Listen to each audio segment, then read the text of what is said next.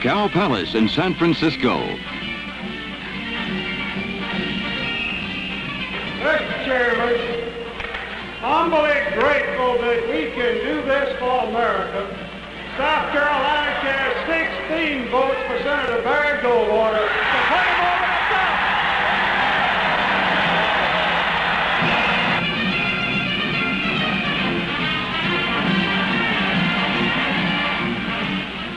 Moment was the culmination of years of hopes and dreams and lots of hard work on the part of millions of Americans who still believe in the American dream of freedom for the individual and the essential dignity of man. Events in the Cow Palace opened the final stage of a campaign that started back on January 3rd, 1964, at his home in Phoenix when Senator Barry Goldwater announced his candidacy. I am convinced that in this year of 1964 we must face up to our conscience and make a definite choice. We must decide what sort of people we are and what sort of a world we want, now and for our children. April 14th, Goldwater wins Illinois primary. May 5th, Goldwater wins Indiana primary. May 12th, Goldwater wins Nebraska primary. June 2nd, Goldwater wins the all-important California primary. Again, thank all of you who have worked so hard and repeat what I said last night. I have never in all of the political years of my life seen such a, a fired up grassroots movement. And ladies and gentlemen, that's what wins campaigns and that's what will beat Lyndon Baines Johnson.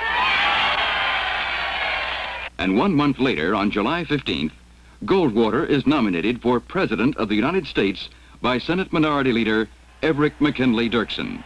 And I'm proud to nominate my colleague from Arizona to be the Republican nominee for President of the United States.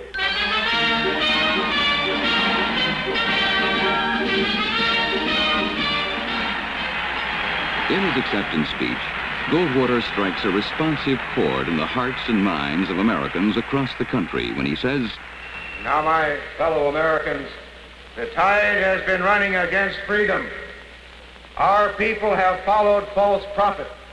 We must and we shall return to proven ways, not because they are old, but because they are true.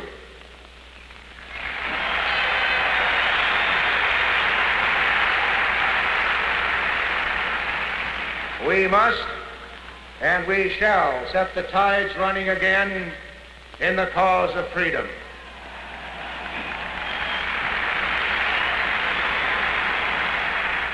Representative William Miller, his running mate from New York, joins with Senator Barry Goldwater from Arizona to set the tide running again in the cause of freedom.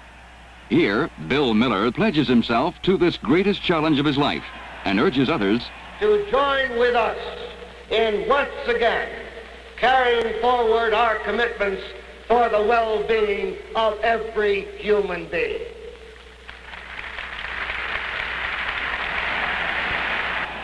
In this great common purpose, I now stand at the side of a man who more than ever any other I have ever known in American life speaks the truth to the people, courageously stands for principle, and devotes himself completely to keeping America free, the great son from Arizona, Barry Goldwater.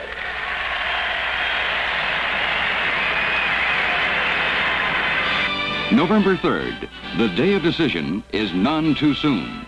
November 4th may be too late. That's why the Citizens for Goldwater Miller was formed, for positive, intensive, effective political action. And here is the national chairman of the Citizens for Goldwater Miller, General Jimmy Doolittle. As Citizens for Goldwater Miller, we have a big job to do, an important job to do.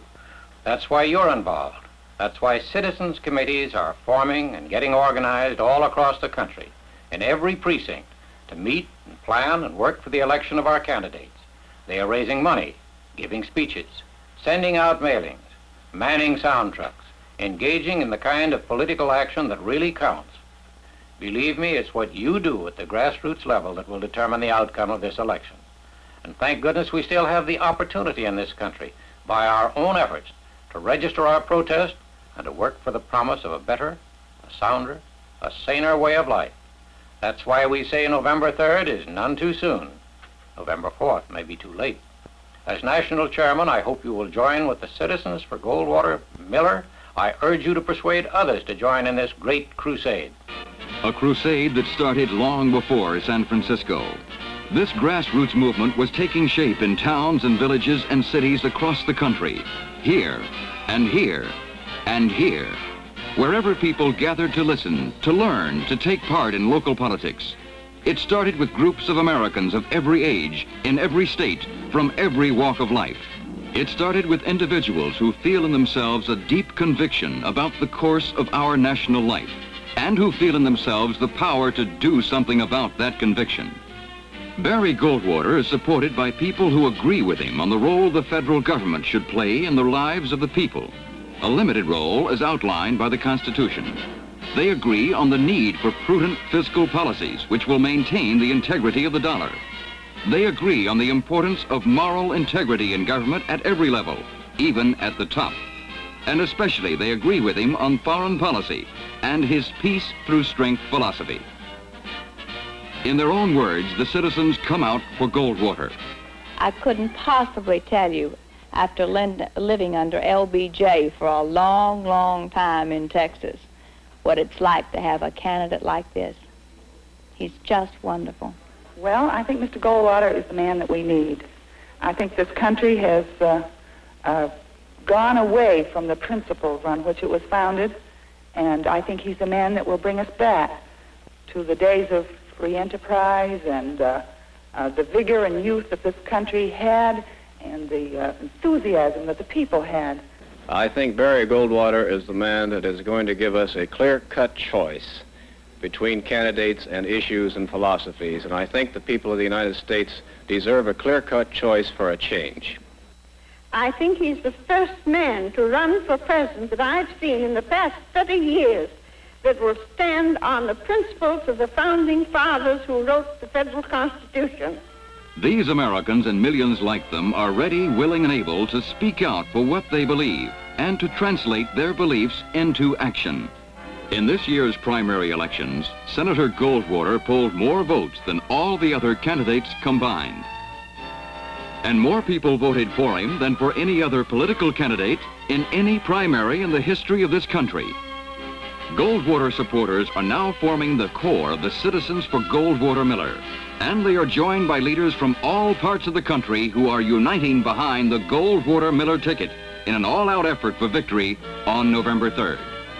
And here is the man who will be the chief standard bearer for that victory. Barry Goldwater. What kind of man is he? Where did he come from? What does he stand for? Why does he appeal to so many Americans from every walk of life from every state in the Union. Goldwater is a man of the West, born to the tradition of free enterprise and individual responsibility. He's a Major General in the Air Force Reserve with the sound judgment, fast reflexes, and steady nerves required to pilot the fastest jet airplanes. He's a husband, father, and grandfather, deeply concerned about what the future holds for his family and for all American families. He has served 12 years in the United States Senate on some of its most important committees and has emerged as the voice of conscience for an ever-growing body of Americans who share his deep political and moral convictions. To men who believe in God, man's freedom is divinely conferred. It's not a privilege granted by the state. And I think this is the most important political difference of all.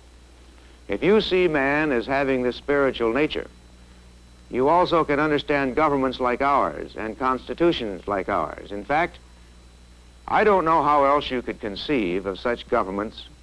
And on the other hand, what happens when you see a man as just a high order of animal, just a sort of complex machine on legs?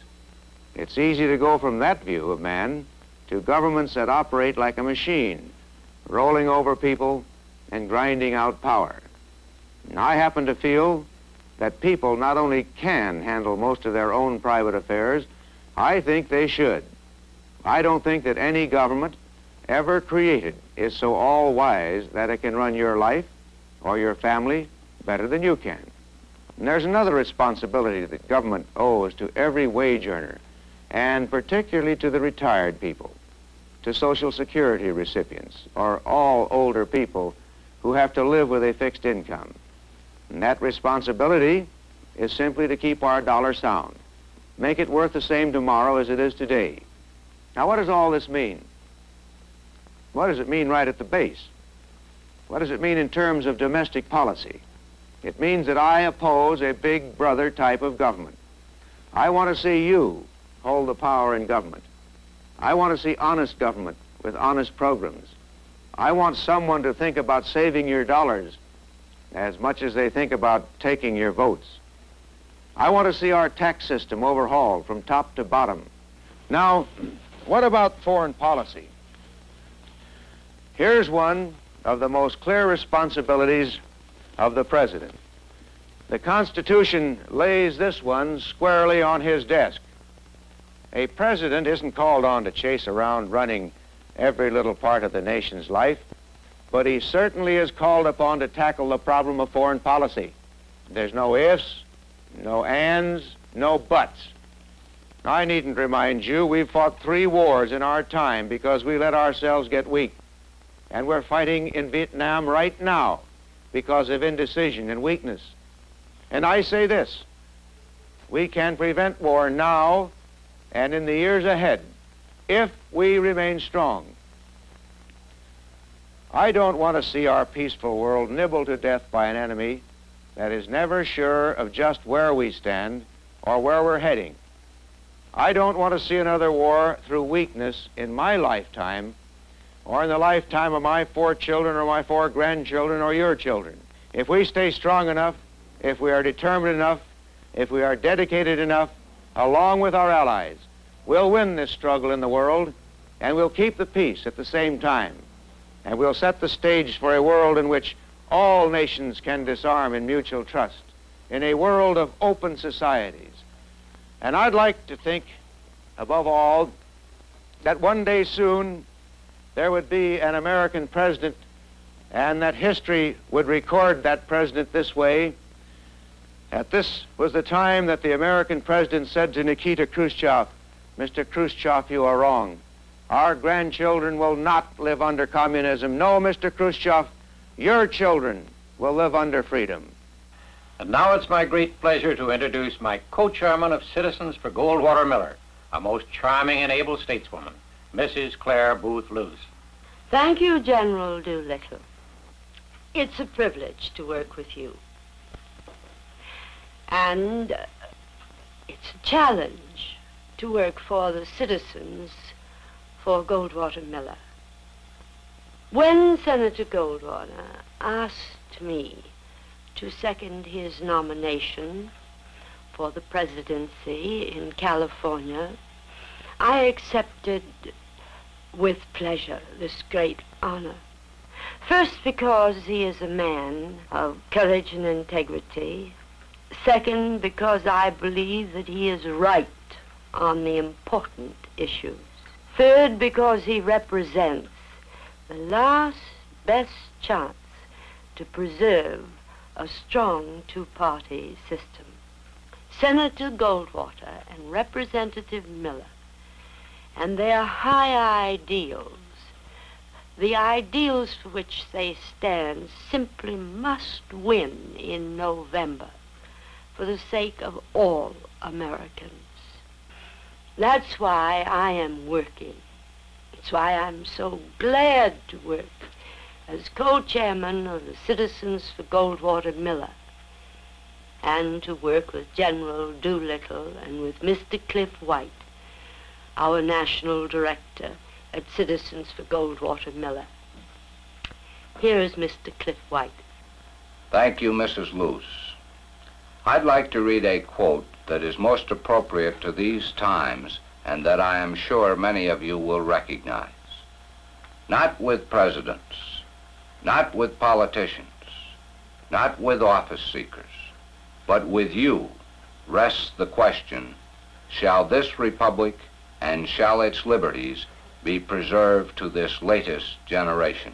Now, I want to remind you that we, as citizens for Goldwater Miller, are uniting behind two strong and able leaders to turn the tide of political events in this country.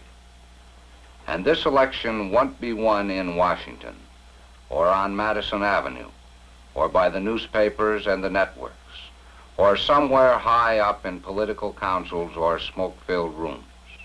It will be won at the local level, in your town, in your district, at your polling place. With you and by you, the citizens of the United States, the citizens for Goldwater Miller.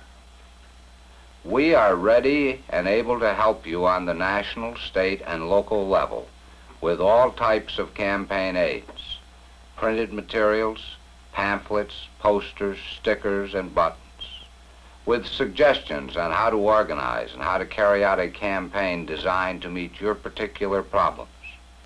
We can provide visual materials, films and tapes, and speakers for special occasions. Get in touch with your local or state Citizens for Goldwater Miller organization or write to the national headquarters in Washington. We are counting on your help and your support right down to the wire. We need it to win. With it, we cannot fail. My candidacy is pledged to a victory for principle and to presenting an opportunity for the American people to choose. Let there be a choice, right now and in clear, understandable terms. And I ask all those who feel and believe as I do to join with me in assuring both the choice and the victory. Join with the millions of citizens for Goldwater Miller who are working in this great crusade to bring victory for freedom. November 3rd is none too soon. November 4th may be too late.